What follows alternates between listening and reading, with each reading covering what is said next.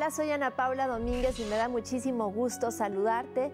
Y hoy te platico que de acuerdo a información proporcionada por el Instituto Mexicano del Seguro Social, comer sanamente significa hacerlo en proporciones equilibradas, tomando de los tres grupos de alimentos que son, por un lado, los carbohidratos, que son los azúcares, las grasas y las proteínas, que son las leguminosas, las carnes y los lácteos.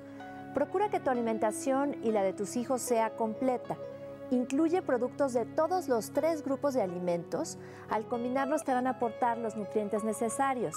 También ten una dieta equilibrada. Toma cantidades apropiadas de alimentos, pero sin excesos.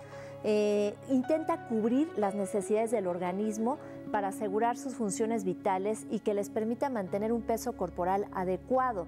Para esto hay que buscar como una alimentación variada la combinación de los diferentes alimentos te va a proporcionar los aportes de vitaminas y minerales que tu organismo necesita. Y por último, destina horarios para comer y respétalos. Mastica despacio y disfruta de cada bocado. Se dice que hay que masticar los alimentos al menos 32 veces. Hasta aquí mi comentario del día de hoy. Hasta la próxima.